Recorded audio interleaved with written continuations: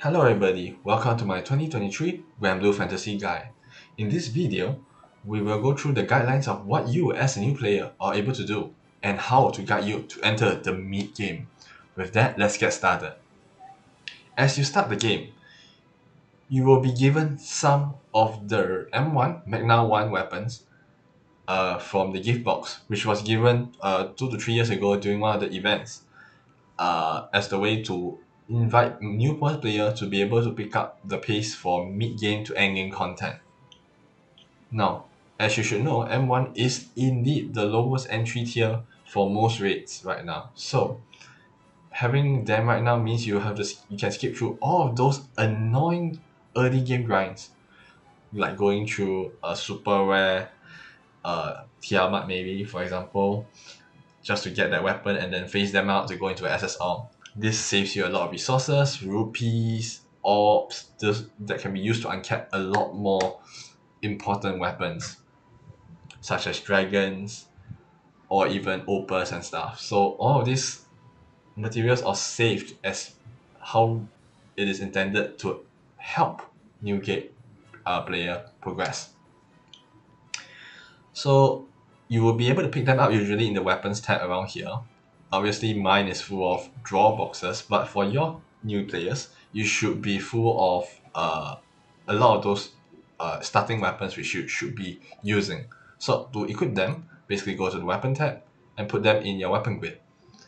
Now, this is just a sample of how like what a Magna 1 lightweight could look like. It's simply uh, consisting of swords. Uh, obviously this and this are kind of rare. You shouldn't be able to get them this early in the game. Uh, and they are mostly, these two are from Gacha, the two grand uh, wording hubs. So most of the time, the game has transitioned away from standard farming and have a little bit of a mix back nowadays but because of uh, how I want to formulate this video to be as free to play friendly as possible. You can substitute these two grand for basically any other Xeno stuff or basically uh, event based items right?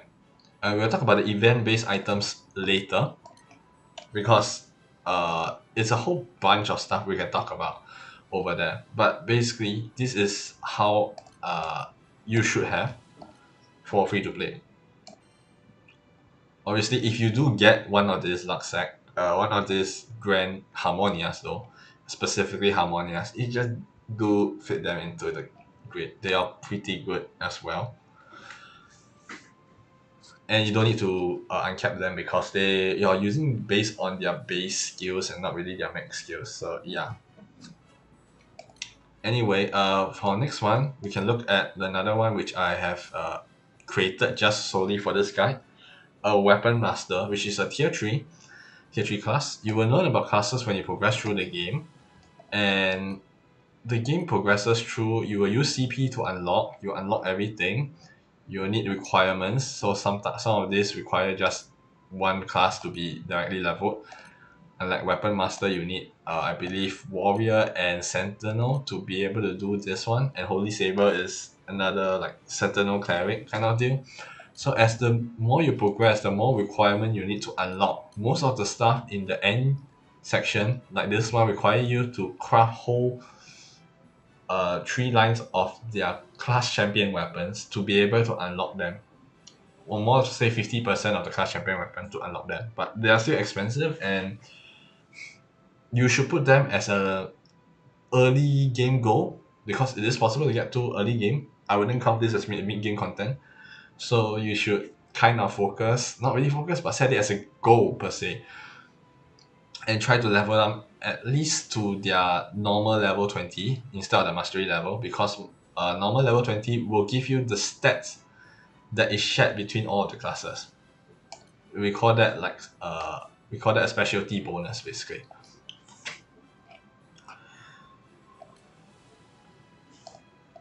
Now for weapons for dark though um other than the axe which you can replace with a seraphic weapon you're you're expected to get your own seraphic weapon even as a SR weapon early as possible because it is a very good uh, damage cap weapon for element based damage. And then these are the claws you should receive during the event, or should I say in your inbox already. And then this is the kind of weapon you receive from the storyline. And these are all you need technically for you to be able to progress the game, at least the starting part. So you got a big chunk of HP, big chunk of damage, and you have the skill level leveled already, which is pretty nice. Now, if you do, do note that if you're lacking, again, in the dark grid, for example, all of this stuff, all of this stuff are farmable. Uh, this is an event only, which is now possible to get in the Code of Redemption event. I believe it's what it's called. yes. And then this is all from the current Xeno event. As of recording right now, I would like to say that the Xeno event is currently live. So if you can, please do go farm the Xeno uh, I, weapons. And this is the Proving Ground weapon, which is also a rare event, but it should come back pretty soon, hopefully. And then we will talk about where to get this much later. So we're just going to look through a lot of this Greek alphabet, the summons. This is obviously a very maxed out tier or light grade summon because I have been playing for many years. But what you should look like for a normal free to play probably will be something like this. Obviously, early game you probably do not have these summons, the elemental summons, but you can farm this uh, omega summons at their respective rate in the omega tier. They drop, in my opinion, relatively often.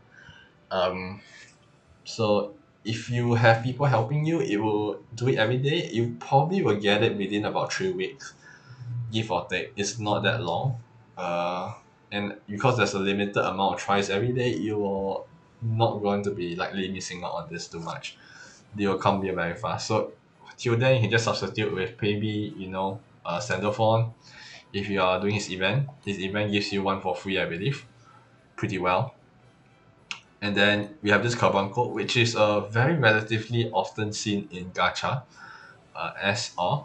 So if you can get them because they reduce the damage you will take by 50% most of the time, which is pretty good. And then recently they introduced the event for Nobio. Uh, normally most people wouldn't recommend to go for him first, but I would say that his core effect is pretty good. It's a healing, it's a charge bar boost, and it buffs you, shields you, heals you over time.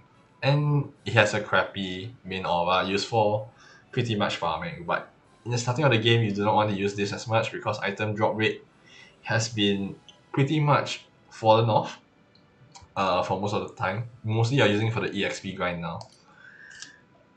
So if you're farming for EXP, just do use Nobio. Nobio's in the side stories. And I'll see whether I will recommend you to farm him. Yeah. Okay, for the win, we do have the weapon. This is a mix of an M1 and M2 grid. Uh, basically, Win does have a good M1 grid to say that you will get enough guns, but then you don't have the damage.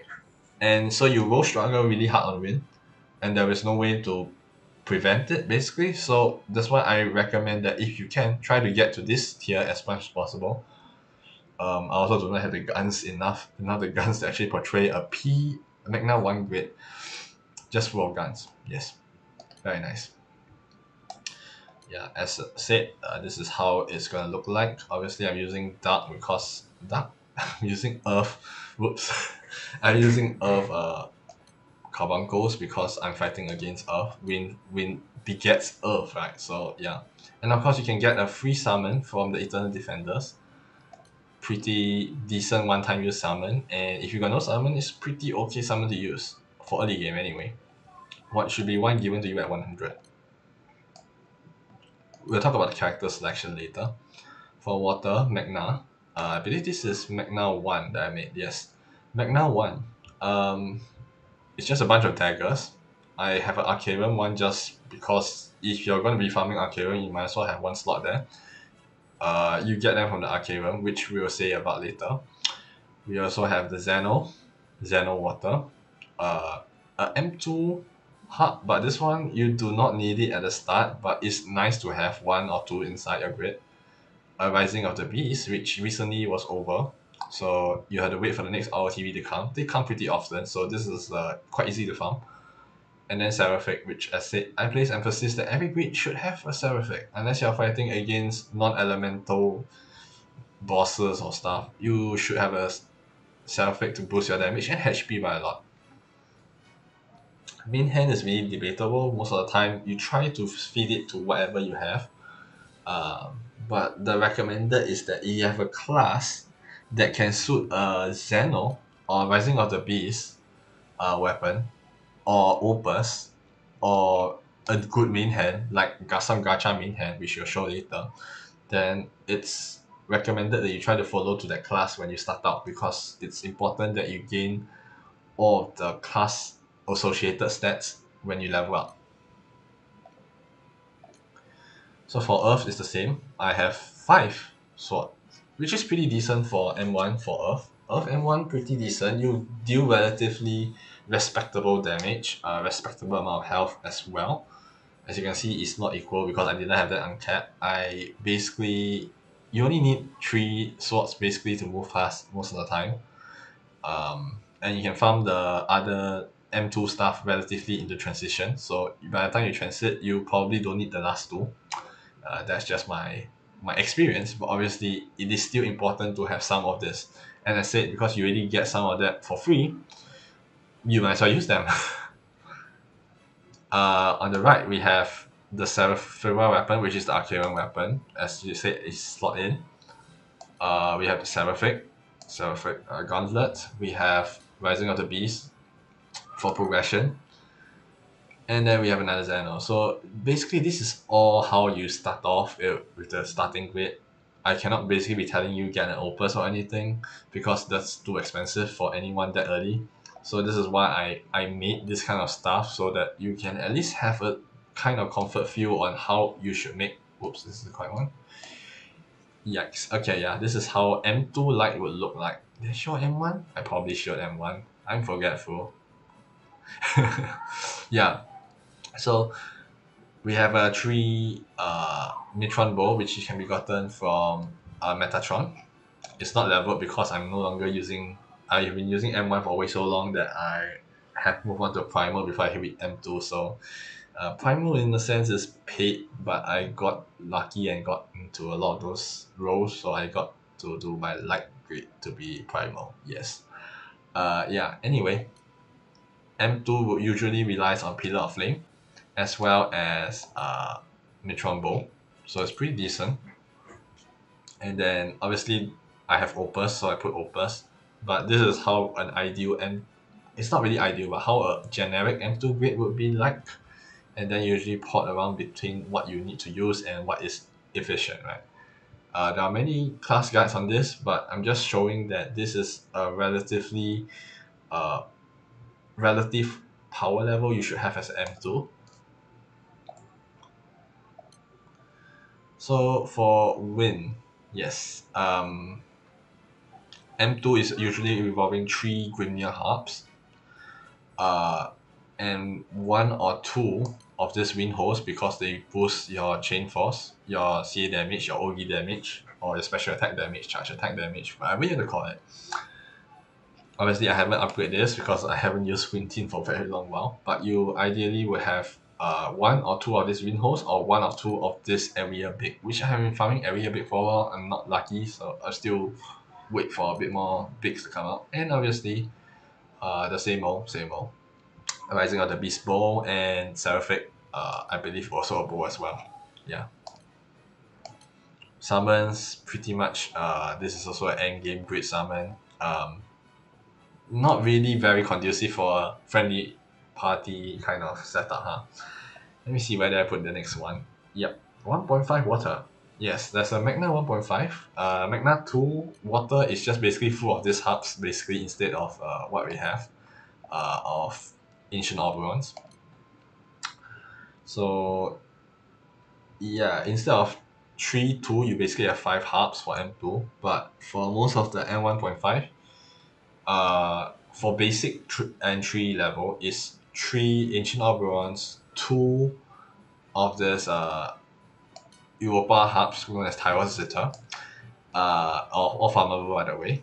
Uh, you also have a Rising of the Beast, Hatchet, uh, Opus, and Astro. This is another series weapon which is very very time sink heavy. You probably won't get this. Uh, so you're better off making like something like a malice weapon or proving ground weapon, Clarion, and you probably will be able to sustain for a while uh, in the mid weight levels because uh, that's how you transition, right?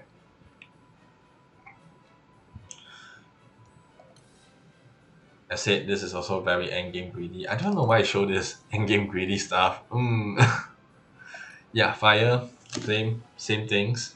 Have Colossus. And then we have a lot of this. This is a M1.5. And it's probably uh fire has no real M2 grade as far as I'm concerned because whatever you can farm from the Shiva rate is essentially not that useful except for his sword for HP. Uh, unless you want a tanky tanky build, um, this is the highest damage build you can get. Uh, you get uh, 4 AES, uh, one Astro, one Opus, one Katana Rise of the Beast, another Rise of the Beast, a fake weapon, and a Xeno Flame Blade. And since Fire Guild War is just over, um, this should be on your lower priority right now, but you should try to farm according to your Guild War priority. So for the current time I'm recording right now, the next guild war coming up is dark so I would be more inclined to farm dark in my general farming list right?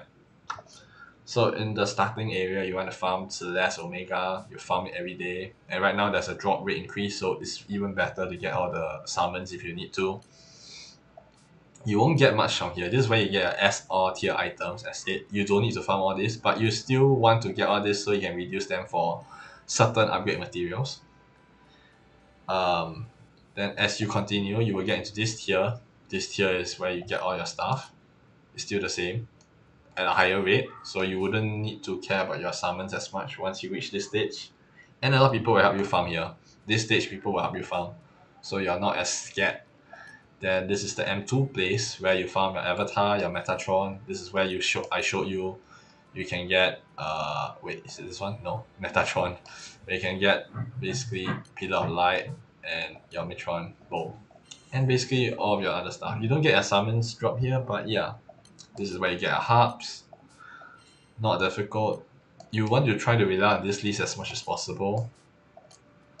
AP is one point five of earth but I would not talk about that because uh personally I have mixed feeling about earth's one point five right now. So uh yeah but it's up to your discretion. You can go and research yourself. If you want to see earth one point five and water you can get Tyros Zeta uh and you can get Oberon as well from here.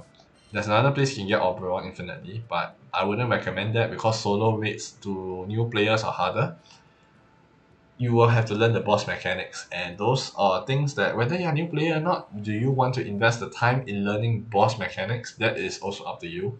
Because M one is in the reason why it's called entry is because it doesn't have the H_P defense or damage to outlive the boss most of the time so you will have to think through what you need. You have also limited resources like you don't have as much characters you can rely on.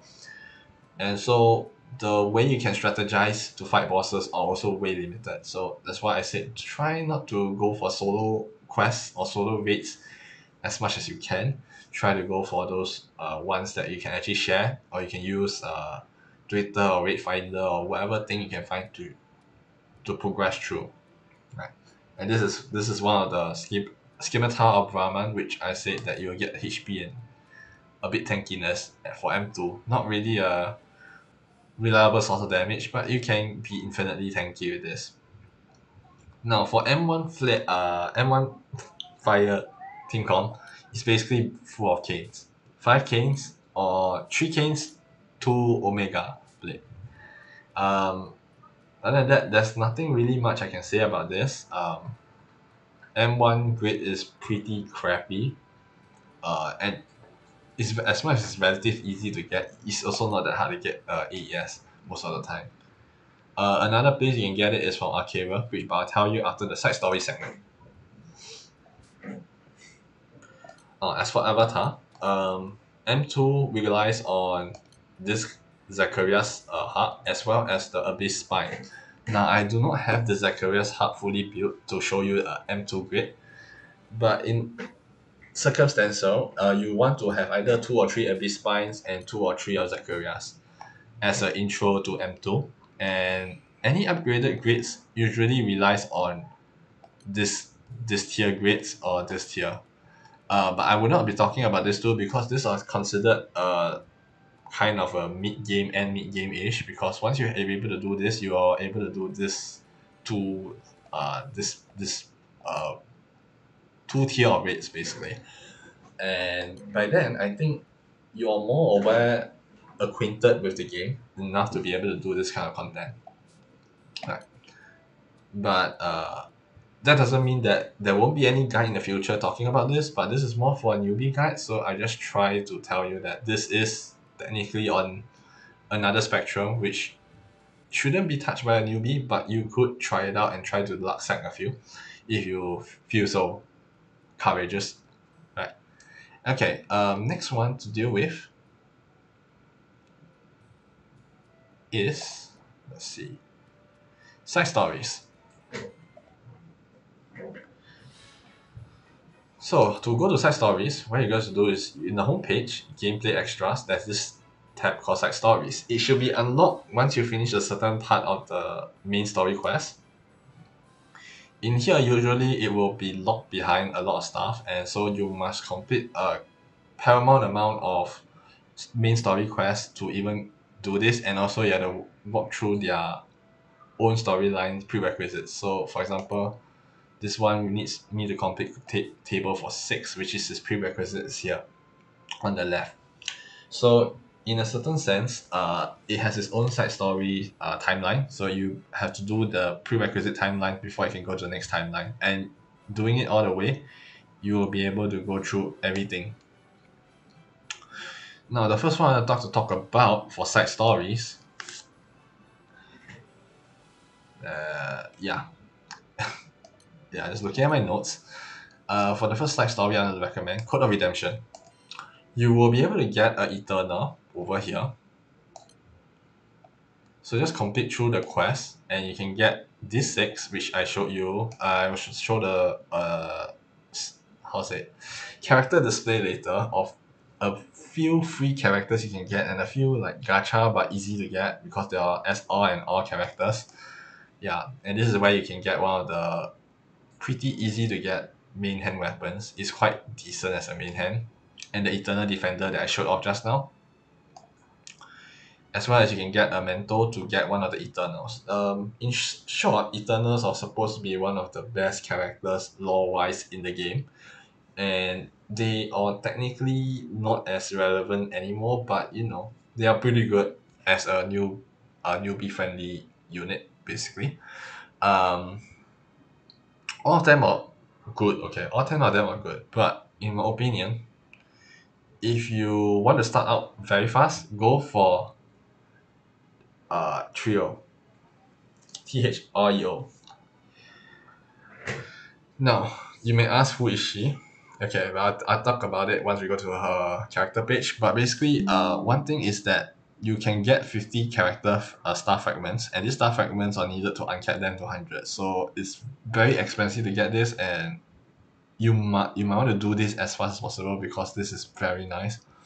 Now as who you select your first character shouldn't be tied down by what's how much star fragment or what star fragment you should get. Rather you should tie down by what is the best element or should I say what is the best way to get yourself started as fast as possible so I'm going to go into the Eternal series and do a quick talk about them. First we have Tweyen a master of debuffers.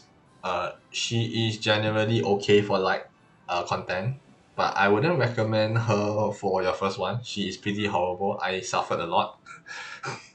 Even as a guild war for guild war grinding she isn't that good. She relies on hundred to be decent so she's horrible at eighty I would not recommend her as your first pick Tweyen used to be lauded as the best first pick because of her ability to trigger bounty and drop rate increase, but nowadays in in the mid to end rates, they don't really get affected by bounty that much, so it's kind of bad.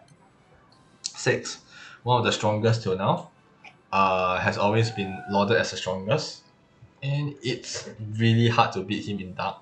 Even now in meta, I think most of the people still have problem beating him, but there are moments where he's getting overshadowed nowadays in power creep, which is surprisingly being that when he was in level 100, he wasn't getting overshadowed, but once he's 150, he's getting overshadowed.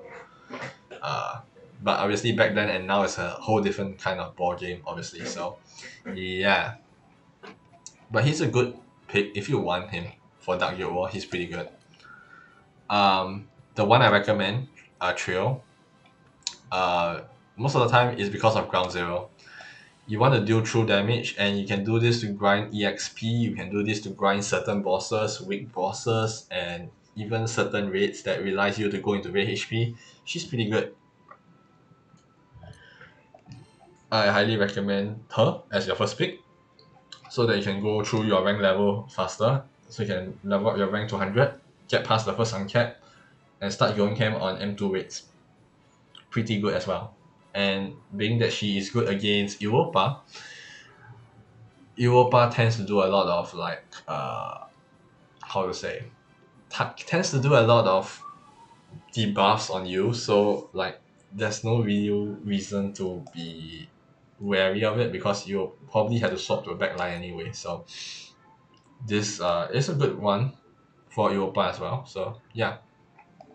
Octo OG God nothing to say until you reach 100 level 100 plus. So he's good at 100 but I wouldn't recommend picking him up until 100 uh past 100 Xiaofon he is good at level 100 he's okay at level 80 but there's no reason to go straight for him. He is just a handyman. He think of him as a Swiss army knife and back then he was a lot more better as a Swiss army knife. But right now he is just an a okay Swiss army knife. He's not bad he's not good but he is able to do a lot of stuff. Including doing a certain uh multi-hit C_E_Q uh campaign exclusive quest where you can gain levels there as well. It's uh usually held during MACFest and it's only a short period of fourteen days. Uh this guy can help you deal with that if you want to do leveling that way but that relies you on knowing when C_E_Q is coming and that doesn't help that the it doesn't help Arcarium as much. So over leveling uh in CQ, Arcarium is more important in my opinion. So yeah. Feower just a buffer. Um you won't need him much. I don't use him at all and to be honest. Um so yeah he's a debuffer buffer though so he can be good but he's just not good for me enough anyway.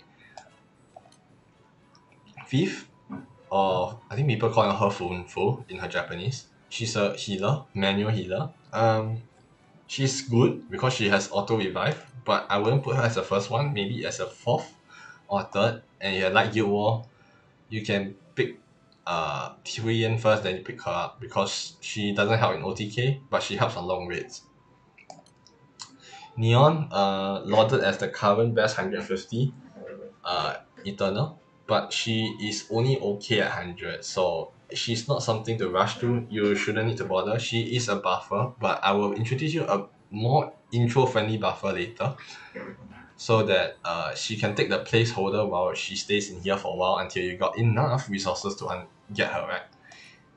And Anrei let me get Anrei Anrei is the final eternal I'm introducing. Now she he has a he's a very defensive character he's a water nuker in the future at hundred plus. But at eighty he's just a person who just reduce your damage and that's all he does. Reduce your damage. Taken for quite a lot. So in that sense he isn't that bad but you can do this on your class Spartan uh and Paladin which you will get to you you can get it very easily actually. It's not that difficult to get Spartan nor Pala. You can even get that in Holy Saber honestly so it's not a hard thing to do. Okay the next one for side story that I introduce is usually uh love eh love? No Princess Connect Redive so basically what you get here is oops what you get here is basically uh Pecorine this girl over here with the onigiri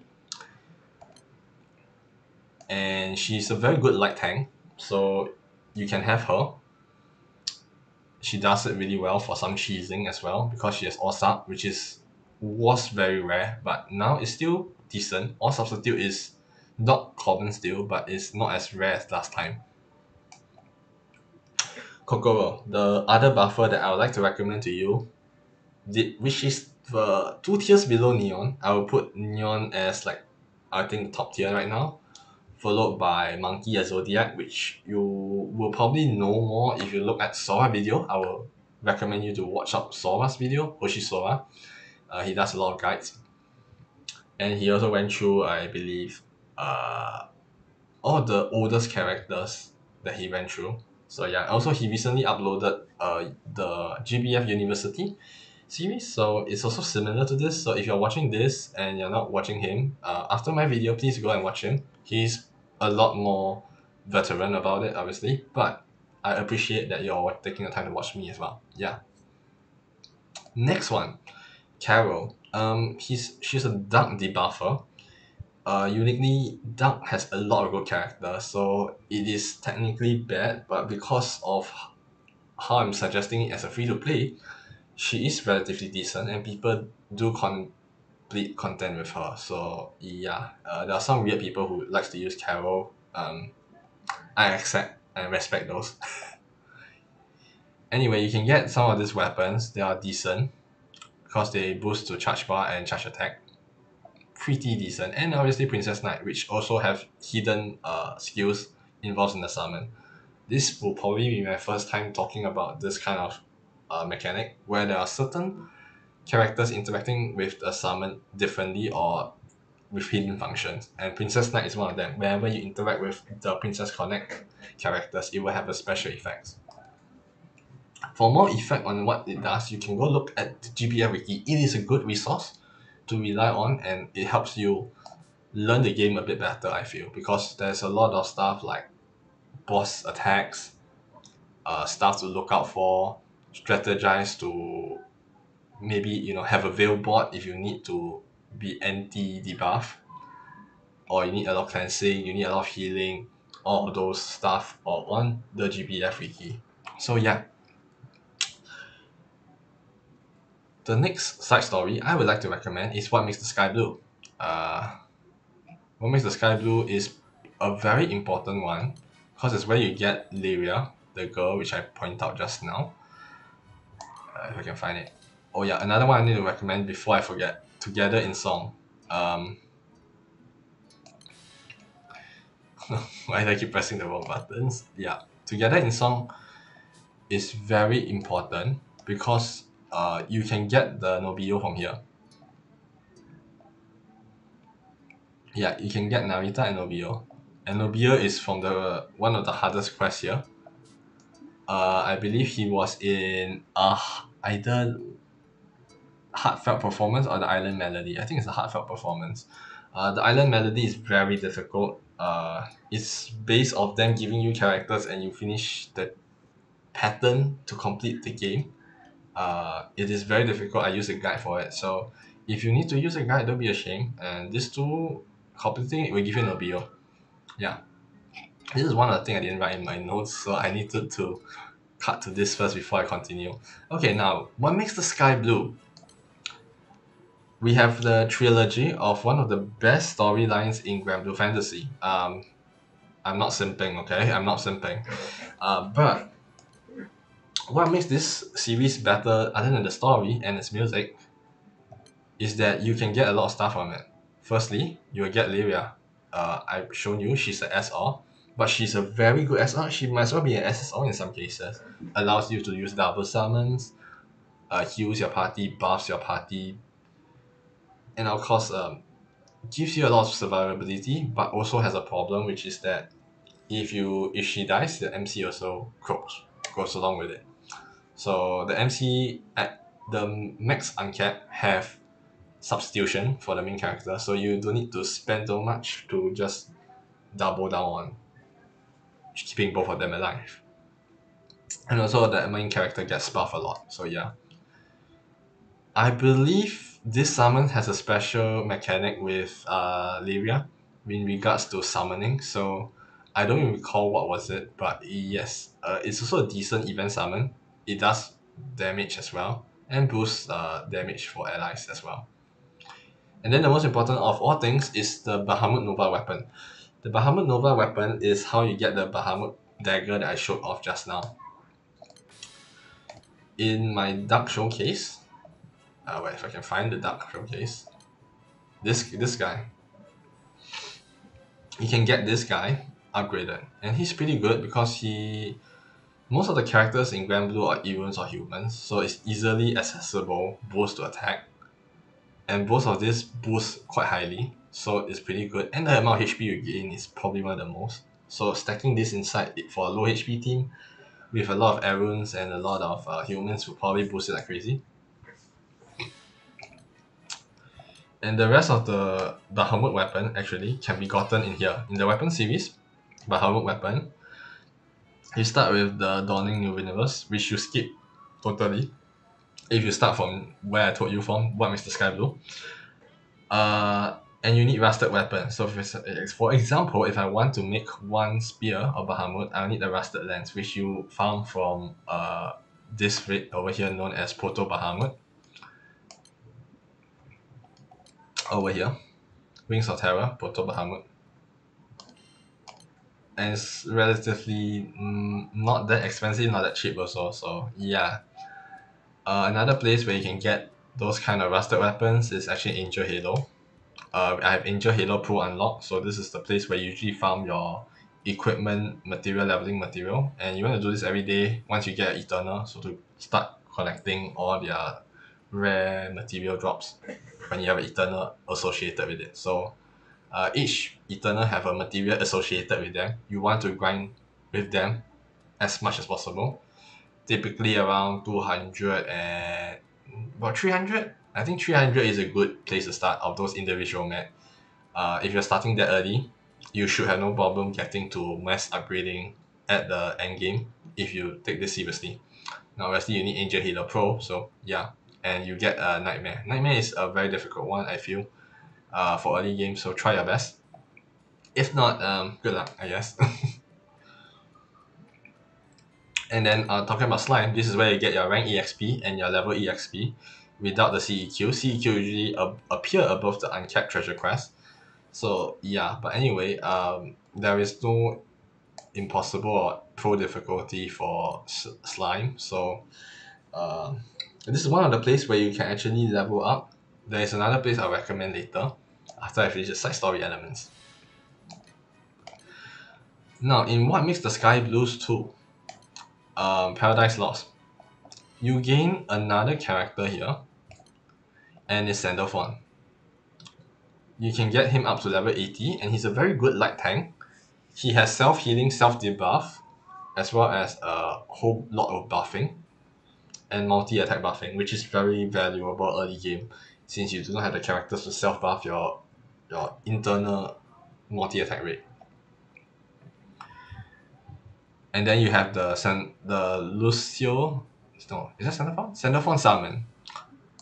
Um and don't ignore the last one the last one isn't worth but Sandalphon summon is a very good summon. I do recommend getting him because you get uh the sub aura your first time you get a sub aura for your summons and it's for light it boosts light's H_P and it is also a healer. With and boosts your attack and does damage.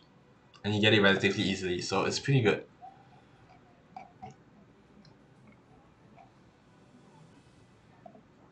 Now the last one I will talk about is what makes the sky blue free. that's important what makes the sky blue tree has a one single thing that is very important about this actually not one about two. One is that this allows you to uncap Sandalphon to one hundred. You get some okay weapons uh very decent uh summon actually. He does a lot of damage. I test personally tested it. And he boosts charge bar as well which is nice for early game and then you get the Atma weapon. Atma are basically the base form of Ultima weapons. Yeah. Ultima is uh well, you can always hear in Final Fantasy and RPG games, they are one of the strongest weapons, te- technically anyway. And it's not much different here. It is very strong, but uh, as said, I it is a weapon you can get from here as well, in the Ultima section, and you can get the Ultima collection, and again start by rusted weapons and climbing up. So um, for my Ultima weapon, uh, let me see if actually if I found it here. Yeah, here, this one. I haven't built my Ultima weapon. you, it's not a necessity, but the final uncap is kind of painful to get. It's expensive. So I do get his skill up and his second skill up. At, that's as much as I got him up to, and it's it's working well. But I do not have the means to get his max uncap. Um, that you will need to fight a very strong boss, and I have no capability to fight that right now. But it is a very strong uh weapon. It increases your speciality with regards to the weapon. So since this is Ultima Sword, it will boost sword speciality allies for all their uh, necessary. So HP, attack, multi-attack rate, damage cap. Very good. Also a secret thing is that uh, if, your if your character is using the same weapon as the grid, they will have a synchronized effect of getting more stat boost from this particular weapon, just in case you didn't know. And Paladin have a shield staff here, yeah. These are not something you should want to focus on, but you can take a look about it, right? You can take a look on it.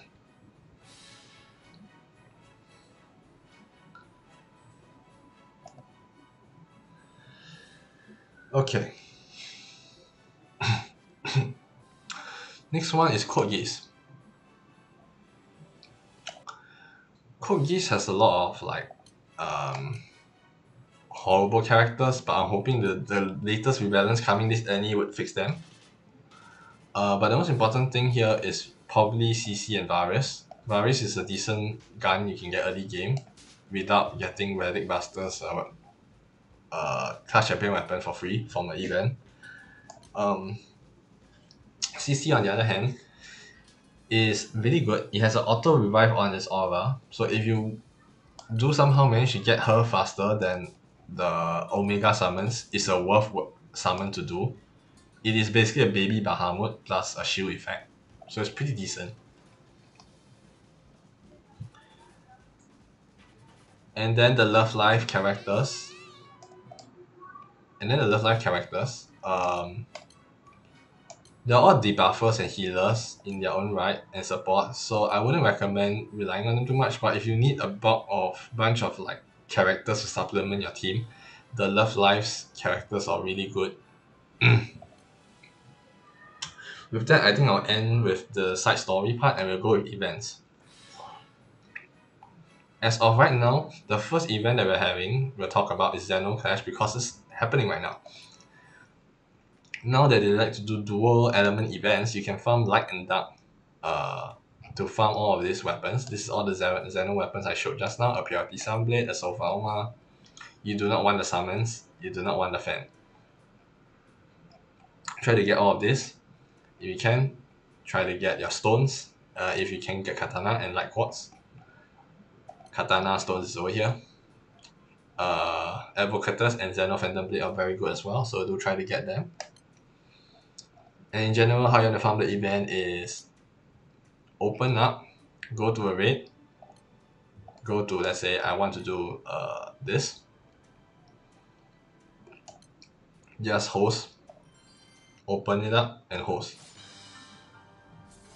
nothing wrong with it. Just use your skills and people will come and help you. People will come and help you. So it's not difficult. And you just host it. There's no shame in hosting. This kind of raids usually will take a while if you're a newbie. If you're just really intro into the just started into the game. There's no reason to solo them.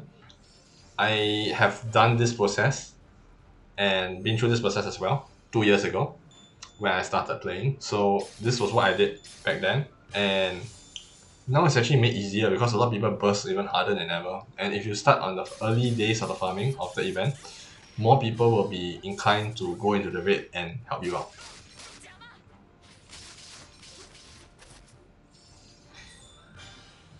The second one I'll talk about, around the gameplay behind, is the Rise of the Beast. Now, we talked about the Rise of the Beast weapon just now. Uh, the recommendation for me is that you try to get the Fire Katana first, as I feel is personally is the best of the Rise of the Beast weapon. Because katana weapons are usually quite rare as well, so it's nice to have a good fire katana weapon. Uh, followed by the progression weapons, as they are important. Over long raids, they will give a lot of attack and substantial power boost. The, re- the remaining Rise of the Beast weapon usually are okay, but you can always farm them as a at a later time if you feel that you cannot actually farm them fast enough. The rest of the beast weapons. Let me see if I can farm it. Yeah, this one. if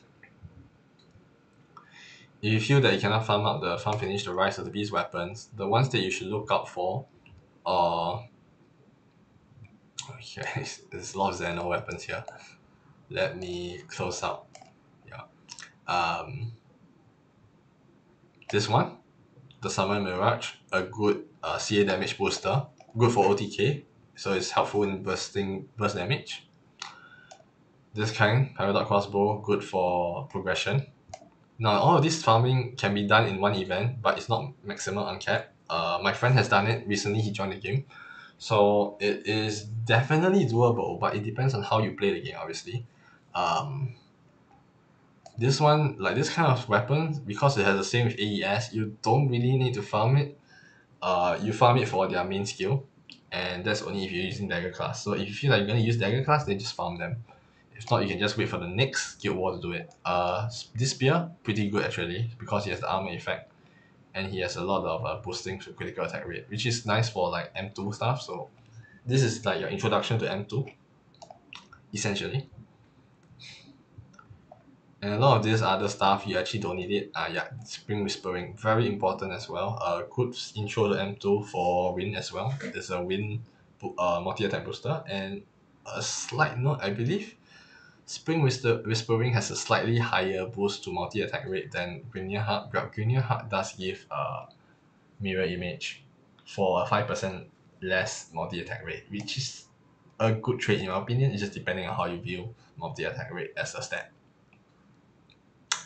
and pretty much that's all the important one the rest are either going through 麒麟还龙 which is a raid which is very difficult to get into because of the way people burst it so it's act~ you'll probably be lagged out of your P_C uh most of the time so I do recommend you find a guide or maybe a time where your ping won't be crappy and you try to versus the japanese people in trying to enter the raid um it's a hellhole uh indeed and then yeah I do think that that's all for rising of the beast.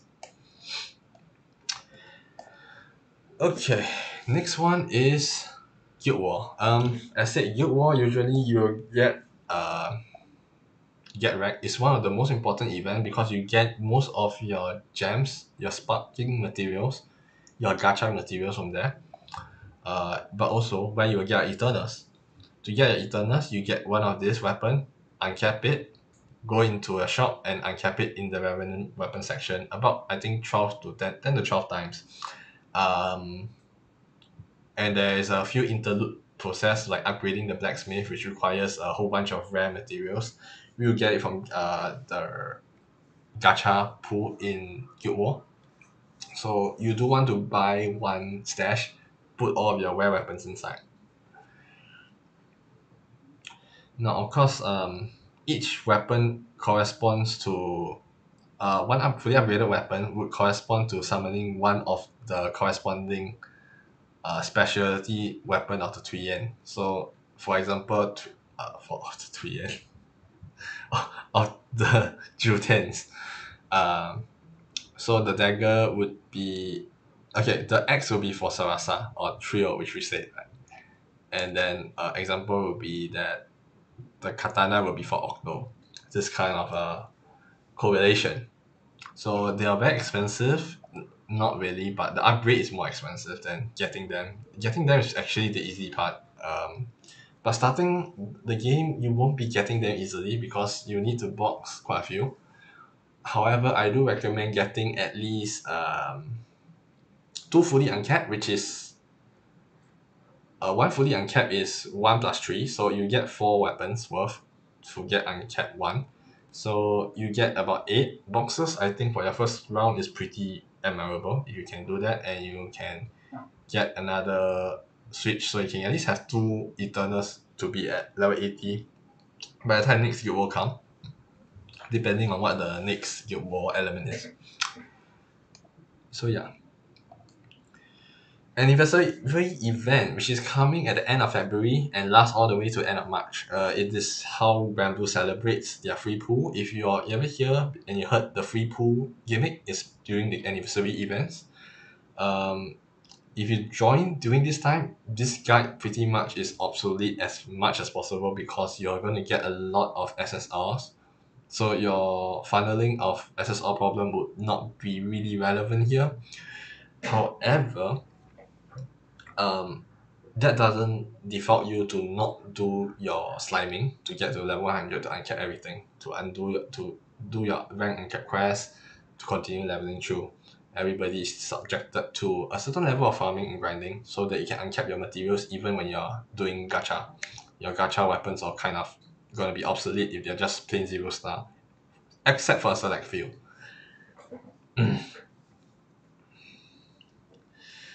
the Arcarum events. Um event just happened twice. Um usually you will see them here. So this is the sandbox. You will start off here at normal go through this uh until stage nine. You have to complete nine nine nine three times at Aquila nine Bellator nine and Celsus nine for the total of three times. Go to hard jump the same go through to extreme now the reason why we speak Sarasa is so that you can actually speak through this part this part normal and hard very fast. And you can start farming extreme. Extreme is where you want to be. And then you can trade for a lot of stuff in here. Usually there will be a sunstone I believe which is a sunlight stone which is used for uncapping uh SSR summons there are also Evolites which are in here. I already claimed all of them and this is also where you can get your your weapons your your cores and stuff. And all of this place is used to forge the summon. I already finished all my summons. And afterwards I need to build my weapons. Someday. Someday. But uh this is how much farming you need to do. And this is also the place where you can get E_X_P fastest. If you go into a raid and fight you get a lot of E_X_P here. So this place is also another E_X_P ground but it's limited by the tickets you have. As you can see I have fifty six out of ninety tickets. You usually need to buy the max ticket uncapped uh upgrade to get ninety. I believe the starting base is forty or fifty. I think the base uncapped was increased so was forty or something. Um honestly forty days is a decent amount of days for if you're lazy to farm but I do recommend getting ninety days so that if you ever go on a super long hiatus or you just want to take a break from Arcarum you can just stack up this and you can fast expedition if you want. Obviously I don't recommend this in the video because you need levels you need your materials so you're better off doing that to gain all your level eighties character. Also in here this is where your Arcarum weapon will take effect uh this is also where you get all your Arcarum summons which I show you for free to play. It's pretty good. And then uh during certain events they will speed up uh sand blocks worth of uh boxing. So basically they increase the gauge the top left gauge bonus over here when it's uh an event. So this speeds up the farming and you can get the boss uh summon drop very much faster as well also if you want to farm the one point five weapons here is also the best place in their respective element. Uh this place I believe is the water. So you can actually technically farm uh some of your water weapons here as well. At the correct boss anyway. Yeah so you want to get E_X skills this is also the place where you get it. And you also can get Militis weapons which will also give you the upgraded Magna tool as well I believe. So yeah it's pretty uh uh this place was very difficult though. Uh sandbox I don't recommend early entry because you will struggle a lot until you get at least a decent M2 grade. Um yeah. But for the original Arcarum uh max M1 should be able to do it. Uh sometimes close but most of the time you're able to do it. Yeah. Next place proving grounds. Uh yeah basically astral weapons uh I'll talk about them later. Where's proving grounds actually? Uh PG weapons. Can I can I find PG weapons? This is such a scuff uh video. I guess not but uh basically there's this group of weapon called uh proving ground weapons. Um they're just used to boost your skill damage usually. They are really good. Uh I cannot find them right now. I thought I found I I bookmarked them but apparently not. But uh yeah uh you can do that event it's helpful but it's very annoying to farm because you need to do every stage by bursting. Uh it is literally the reason for why burst characters are so necessary in content. Uh blame proving ground. Uh hate them a lot for that but you know yeah if you want to do proving ground you need to keep spamming. So you need to keep spamming until they drop and you can uncap them and eventually you need to get all the stupid awakening materials to further upgrade them which is uh awakening is not new. I've shown you exactly just now. Um there are e- there are weapons that are max and you can level them up to uh E_X fifteen. Um they increase stats of specific kind in a different modifier. So it's something not upgradable by omega or primal. And yeah that's how it goes right? Yeah. Okay next one is a dread barrage uh event where it's similar to guild war and it's not actually because the dread barrage is you just defeat as many enemy stars you can until you get the points and you also can get uh guild war weapons over there. You also can get some of the tokens used for redeeming like sunlight stone and stuff uh one thing I want to talk about actually before we go into that valor badges which you also can get from dread barrage and guild war. I highly recommend getting the Evolite at least about five or six before you jump to other stuff because you need at least uh I would say give or take eight or nine worth of valor badges of this one Evolite to get all your summons needed for Arcarum then afterwards you can just sto- start doing sunlight stone since it's quite useful anyway. Yeah. That's just my recommendation. Um tower of babel late game events. Uh you do not want to do tower of babel early game. Um even I also feel a bit difficult when I do tower of babel. It's a challenge reward kind of simulation. Um it tests your fundamental of what characters you have and if you don't have a certain character you're probably going to be locked behind full clear. Um but it's kind of difficult. So if you are in your first year playing and encounter this event do not be disheartened. You can always come back maybe another like six months or so and it will hopefully be very easier. Obviously you do need to farm very hard for it. I haven't farmed as hard as I need to be on my M two plus my va- variety of M twos. So yes that's a thing I have to fix but other than that yeah do not fret. Tower of babel is meant to be difficult. It's not meant for early game. So do try to do other farming during that time to try to sustain yourself. Next one I'll talk about is actually uh boxing. During events uh like guild war you will have boxing events. And boxing events usually requires token to change and roll for internal loot boxes right and you want to do minimum like normal people uh, in Granblue do about thirty thirty bucks I think. I do usually about eighteen boxes maximum twenty. Um but as a new player I recommend at least a twelve ten to twelve. You do not need to do crazy amount but I think ten to twelve is necessary because you get enough of the gold gold boxes. And gold boxes are now used to get gems as well and other rare materials so you want to try to hit the minimum so they make a special way of enticing you to get a bare minimum but it's basically uh side games way of making you to grind a bit right Smart? I guess so. Next one is player EMP. As you play, you will notice this thing called Extended Mastery level. Uh, this one is gotten through playing the game once you max out your class level. Uh, I like to say, do not use your class level, this EMP stuff, on anything below class 4. class 4 should be your bare minimum to where you spend your EMP. Do not use like me in this class tier and below.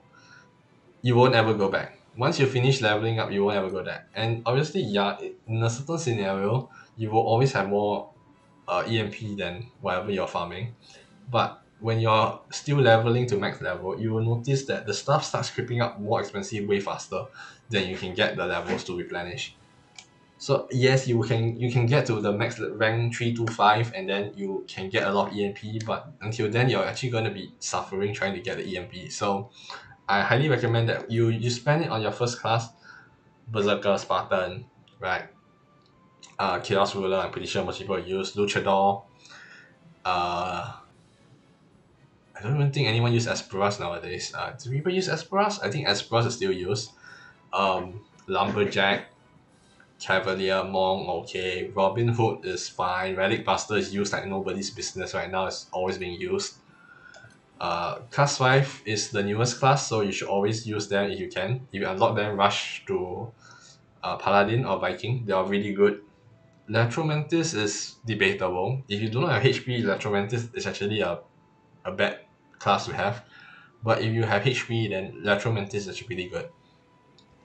So I'm looking at those, those people using M1, don't try Electromantis. Go for M2. Um, as for M2, the first thing I would recommend would probably be Kengo. uh, truth be told, Kengo is probably the best class in the whole entire uh, EX2. And you'll be using a class champion weapon anyway, so might as well uh, make class champion weapon your first one be Kengo because you'll be using it anyway. And you do need to make one of everything but to get for to class 4 to unlock class 4 you do need to make one max EX uh, not max half upgraded EX2 weapon. So my recommendation do Kengo get this Kengo class and then you unlock everything on class 4 automatically. Then you can start progressing on class 5 then go back to EX2 and look for the stuff you need to do so uh I, go, I would say Kengo, Runeslayer, Doctor. This three technically use quite a lot. Rising 4th, maybe 4th, Masquerade 5. The rest up to you. Uh, Glorybringer is very nice to look at, so I would say that if you want to go for Be Thirsty, you can go ahead and make. But just to be noted that every single class in EX2 needs to have their class champion weapon at least half upgraded. So they are of expensive and you need a lot of orbs and quartz and weapon stones to do it. So make sure you reduce your unnecessary weapon stones in the SR tier if you can get it. Now there will be another guide to talk about how to reduce fast and how which what to reduce and all of those stuff. I intend to do that, but for now, uh, for newbie guide, and this is very take already, so I think this is where I'll stop for this part. Last part, I feel, is the moon from what you get from gacha, right? In bronze tier, the one that's most worth, in my opinion, is the Damascus. But if you need for some reason something else, there's no there's nothing here that's really worth that much as a bronze moon. So yeah. Silver is the same do not trade for this unless you want a very old grade which then you will run uh what is it? There used to be an old grade of what's the dark weapon here? Gisla people used to run a lot of dark Gisla for primal. Um it's a it's a dead composition but that, that is one thing but there's no reason to go for that. Stop trolling if you haven't intended to do that but yeah. Damascus Ingot is the next worth in the silver gold ingot, this gold moon, uh, try to save up actually. You can get this thing called illustrious weapon or superlative. Uh, they're all very good, but I recommend you to hold on to them. Uh, reason being that you never know when you might need to to use Optimus Globe or just the Meba. So these two are pretty good. Don't ever go for Sierra pick ticket. It's not worth. People who pick it always regret, and it's it's it's going to show that if your last is so strong, it can't save you from regret. So just don't think about it. This is this is not even supposed to be here, man. Just kick this out. Side games, please.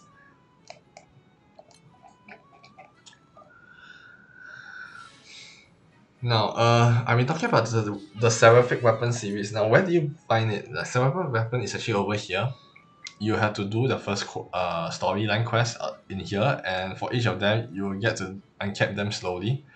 Uh, if I'm not wrong, they use a lot of stuff from this Primarch trial for M2 raids.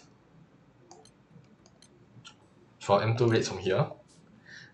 They use the 4 Primarchs uh, from here as well in here they use this and they also use a lot of this as well you the um, I can't speak. And the NMRs yes.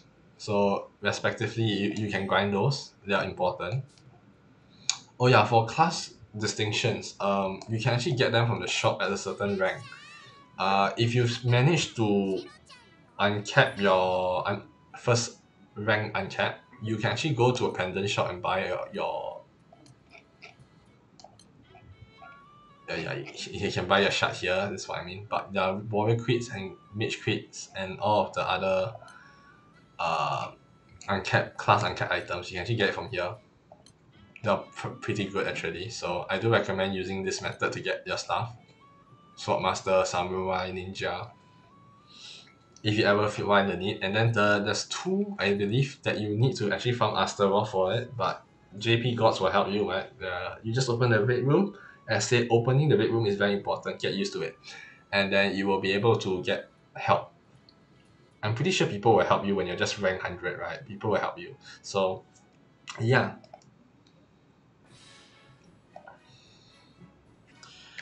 Okay. So I mean that's all for my script but I would like to talk a few more tips extra to put in to this place, right? Firstly, Scarlet Point Shop. Use Scarlet to play because you will get these points if you play daily. You get it from doing like you, you I just get enough to complete it just by skipping mission weekly. And you get whole tons of items like intricacy ring, steel brick, nightshade earrings, all these earrings, urns, fragments that are hell to farm urns are actually relatively easy to farm I wouldn't recommend trading urns but fragments though they are they are horrible they don't guarantee a drop when you do their raids so it's pain. Don't do their omega and Enigma stuff because they are quite easy to get anyway. And they are very limited by monthly so I don't recommend them. Uh however if you have katana stones which I already redeemed this uh this month uh always get them. Katana stones are one of the most used uh most used ones. See I only left ninety one and it's always very worth it to get katana stones. And like quartz which I didn't redeem as well. So yeah. And also obviously be above here should have a AP pot restoration I also redeem those. So those are a very good way to redeem your pots if you need a lot of pots there's another way to redeem pots which is here Jewel Resort. Usually you can get a free uh credits or chips what you call it. And then you can go to cage come in here and buy the shops uh, worth of pots as well. You want a lot of them so it's nice. And obviously if you are a smart gambler I guess I don't know how you to recommend you to gamble. I don't recommend. But if you somehow look at the guides or something and, and choose to do that route you can get a free S_S_R character inside. But I do recommend that it's a hazardous task. It's not easy. I'm not a gambler so I can say so myself so but if you ever want to give it a try I don't know why you come here you really gacha a lot yeah? I guess you want more pain access pain and suffering. Will you? And yeah I do think that that's all I would recommend. Ah wait one more. Journey drops. Journey drops is really a very open resource. You actually will never be limited. I don't ever feel. Always try to get the E_X_P up and your drop rate up or upgrade EXP and grant success rate wherever we are leveling up because uh, it's never worth keeping this. They they come back so fast. Last month, last year actually I had 23k, now I'm 27k. So it just shows how much you can get. It's not worth keeping, so you just spend it wherever you want. Now for class priority chain line, uh, when you're leveling up, I do have one tip for you as well. Um, which is for the when you at the start you try to get everything right? From fighter all the way to lancer. Then you get this from warrior all the way to dragoon. Only when you start class 3 focus on weapon master holy saber. And try to level them. Then afterwards try to work on an EX2 instead. And the one I recommend is Kengo as it to try to get berserker. Once you get berserker spartan you can start re- resuming the rest already and by the time you finish three you should be more or less be able to do four. Now why so awkward? Because in my opinion holy saber and weapon master are the best of this tier. Obviously you should get uh dark fencer for his uh miserable mist which is still useful for M2 grinding. Uh if you want actually. Maybe you should do dark fencer first. Right okay. Weapon master holy saber dark fencer for M2 grinding. And then uh run for Kengo get Kengo weapon come back berserker spartan then continue your farm. Yeah, that way you actually have a a lot more streamlined uh power creep I guess because you have Kengo to help you if you need. You can farm the E_M_P needed. Go through all this easily. And relatively you can also farm your opus easily with uh leeching opus first tier is not hard. People actually uh, get to host this raid very easily uh with people helping them. So if you see dark rapture eighty this one at chapter one one four and imperial ascension try to host this daily. It's gonna be a pain but yeah it there'll there'll be time where it's gonna be free uh free material host so you can do this. Eighty A_P is not a big number. Do not be afraid of this. Uh I only have hundred twenty nine and I'm hosting this quite often as well. So yeah I also do have a lot of stuff nowadays but ya it just shows that even if you don't farm every day you you'll still be able to participate using A_P anyway uh one more tip is raid list ya I you can see I've actually been using the raid list a lot. This was something I wasn't very used to in the past but raid list is very important to me because it shows you what rate you can do and this is how you actually can farm how much you can do and it will unlock as you play. So this is a very important one. Make sure you try to use this as much as possible and use your A_P because A_P regen is very fast. Okay with that I would like to thank you for watching this guide in twenty twenty three um being that guild war dark would be gonna would be a really big like change shift in how the game would work this year I feel. Um I do hope that it will stay relevant this video but if it doesn't stay re- relevant I would just have to make an excuse to make another one right? Ya anyway thank you very much for watching. I will see you next time. Uh, let's hope I can edit the videos in time before uh, new year. It's a one hour video. Yeah anyway happy new year for those people who are celebrating the lunar new years and ta-ta for now